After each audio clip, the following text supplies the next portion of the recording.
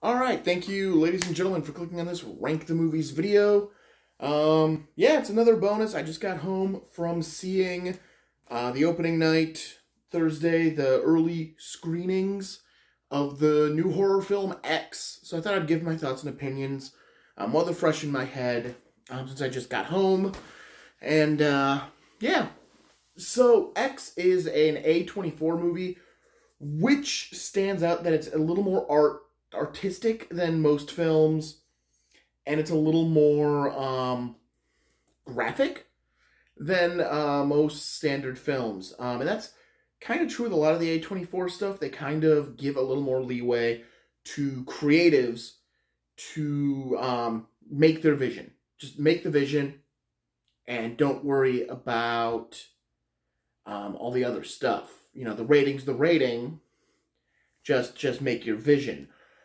Um, I saw the trailers for it a bunch of times over uh, through YouTube, uh, movies I've seen uh, before.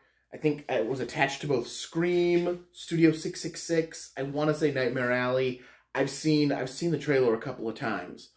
Um, and I was interested. I was genuinely interested in what this movie was because I was curious because it had such a smutty sounding plot that I really wanted to know what it actually was. Um, because I felt like it being A24, that the smuttiness of the plot really um, wasn't going to do it justice, especially because they ran an A24 trailer for a different movie from them, um, which I'm not sure how I feel about it, but like, I realized I think most A24 trailers are cut in like the same fashion. And um, yeah, yeah, it, they're kind of. I, I felt that way. Like I watched the trailer for. I can't think. It's a long ass title. Um, everything all at once. I can't remember uh, what the title is. But it felt like a bunch of other movie trailers I've watched, mostly the A24 stuff. Um, you know, that real quick, like, it's got an instrumental, it hits the beat and something, like somebody throws something, or it, it rapidly cuts. And, um, because this is what the X trailer as well kind of felt like. It still had that rhythm. They have a rhythm to their trailers. And, um, yeah. So it's hard to take their trailers at face value because this one, if I had to tell you what the movie was based on its trailer, I would have been 80% correct. Um, the, the, but the 10%, the 20% I would have been wrong on actually made this movie way better than um, my expectation was. Because I was expecting, you know, it's, the trailers make it out that, you know, it takes place in the late 70s, early 80s a group of pornographers go to a uh, farm to shoot a movie, and they find out that the farmer's wife is there's something wrong with her, maybe supernatural, maybe not, and you know people start dying. The the part the 20% I'm wrong about is the farmer's wife and that there's nothing wrong with her. There's nothing supernatural about this movie. Um, it's just kind of a straight up slasher when you get there. Um, so the movie itself opens um, after the events. It's the next morning of the events, mainly. Um, I think because it wants you to know that yeah, this is a horror film, but it's not a normal. It's it's not going to follow the typical like layout of modern horror films. Um, it's going to follow a slightly different layout, and I know I, I, can't think of them, but I know I've seen other horror movies do this same thing where they flash to um, the aftermath because they're not gonna have there's no there's not an opening kill, there's not something going on right away, but they want you to know, hey, yes, you're in the right movie. Um, you have the sheriff and a bunch of his deputies. They're at the farmhouse. Um, you kind of see bodies covered, but you can't see whose body it is so it's not uh, revealing who's dead and who's alive. Um, there's a TV on that's playing a preacher who is heard throughout this entire movie. Um, and he is just a Bible beaten preacher talking about smut and how people need to not be smutty, and that his daughter was taken away by smutty people.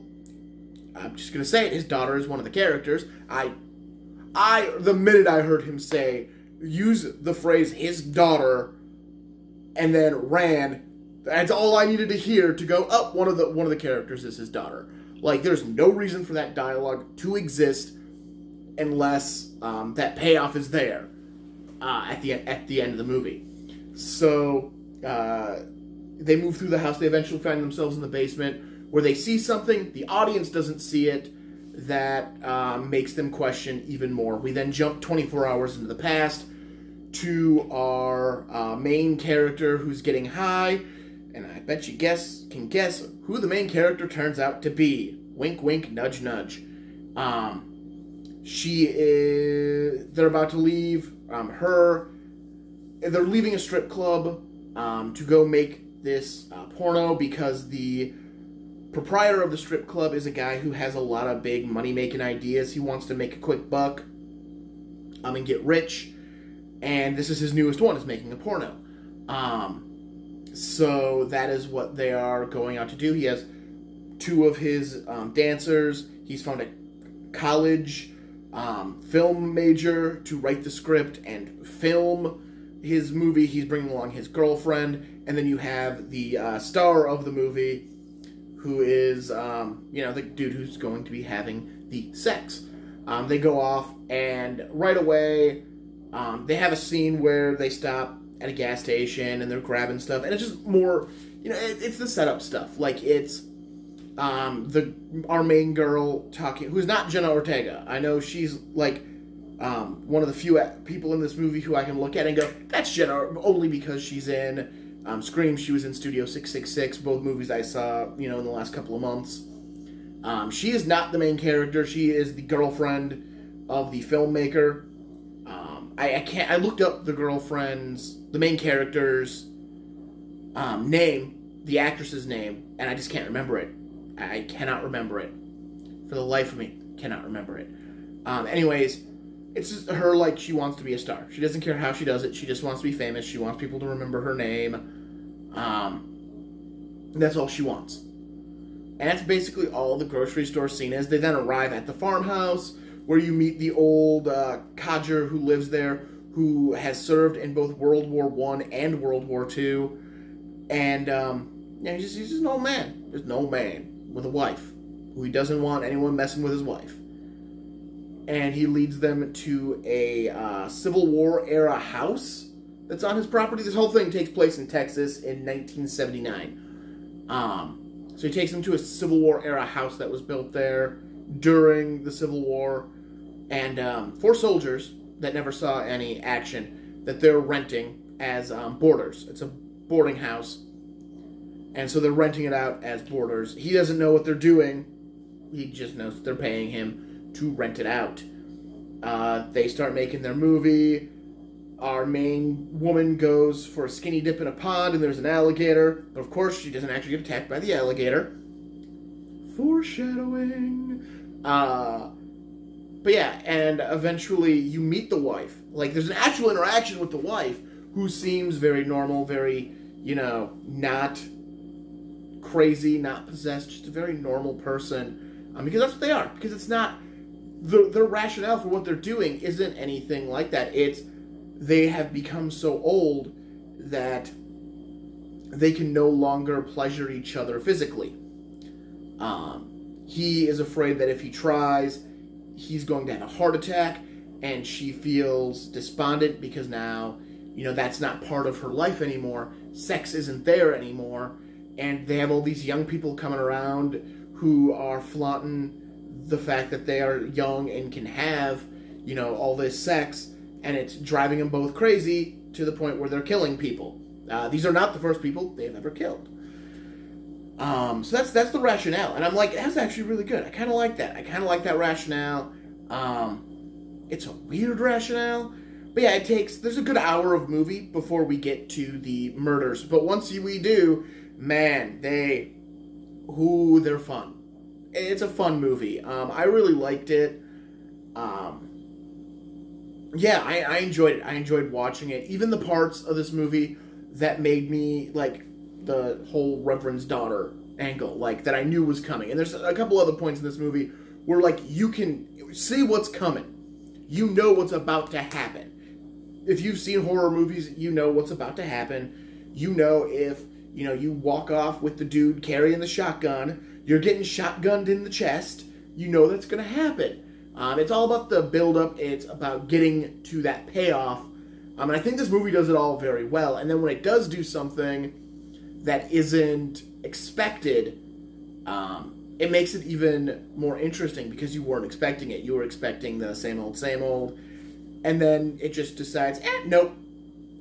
And it does a really good job. I really enjoyed this movie. If you like horror movies, um, it's one to see. Like it's, it's it gets it gets fairly gory, um, at moments.